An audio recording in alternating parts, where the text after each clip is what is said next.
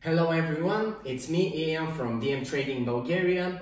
I know we haven't seen each other for a while, but now it's time to renew our weekly schedule. Uh, although it's almost the end of the week, I have a very uh, promising plan to propose to you. Uh, it's an investment plan, so it should be a very long-term approach to the market. Uh, the, I expect this plan to continue unfolding in the next few weeks or uh, even a few months. Uh, so there will be plenty of opportunities to take on it.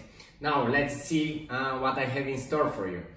Uh, on your screens currently you can see the USD Swiss franc currency pair on the weekly time frame. As you can see I've already marked a few levels. this is our weekly resistance zone and down here we have our weekly support zone.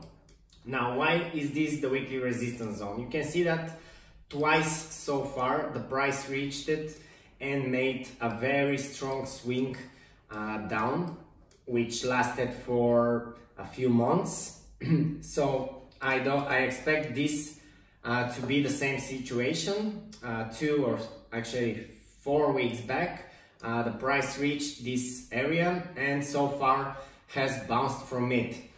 Uh, now an important thing to notice here is that we have this previous weekly top right here. Uh, so I expect the price to uh, break it as it is doing now, uh, probably this week, uh, before continuing further down to our weekly support zone. You can see how the price behaved when this support zone was reached here. It formed a stable uptrend. Uh, a few times it was broken, so it is not the perfect zone, but it can be our first uh, target. Of course, the price might continue further down, reaching to somewhere here at one point, but we'll see about that. You can see uh, here, here, here, also here we had a few reactions from that zone. So this would be our first target zone. Now, uh, let me show you why I picked uh, this top on the weekly time frame. You can see the uptrend started from here, made a wave exactly to that level, then we had a very long uh, correction down, another wave up, which again stopped here at this level and we had a smaller correction and a new wave up uh, which reached all the way to the weekly resistance zone.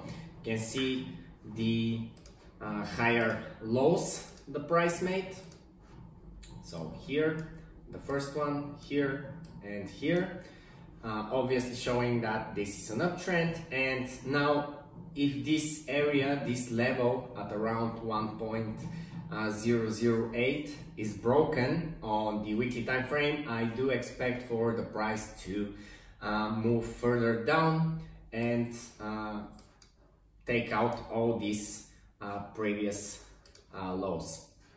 Now, uh, let me turn the daily time frame, see what we have there. Now, this plan, as I said, is an investment plan, so mainly I will look uh, for opportunities on the daily time frame. So this will be our main time frame. Now, what we currently see here is that the price formed this uh, small consolidation here. And I will be expecting the pair to break the bottom of this uh, consolidation before continuing down at least to this uh, previous bottom here at first. So you can have some uh, small target zones until the price reaches the weekly support area down here uh, where you should monitor closely and how the price behaves and uh, from where we might see some corrections to the uh, overall downtrend waves. So a break of the bottom of this consolidation here, I expect a move down to this area, then probably a small correction, then another move down all the way to this area, which is another uh, weekly low. And then most likely we'll have a correction here and another wave down to the weekly support and our final target. So this is it on, on this investment plan. Uh, it will be posted on TradingView so you can track its progress. Uh, I will uh, share live signals based on it in our Telegram channel. So if you haven't joined, do it now through the link below this video.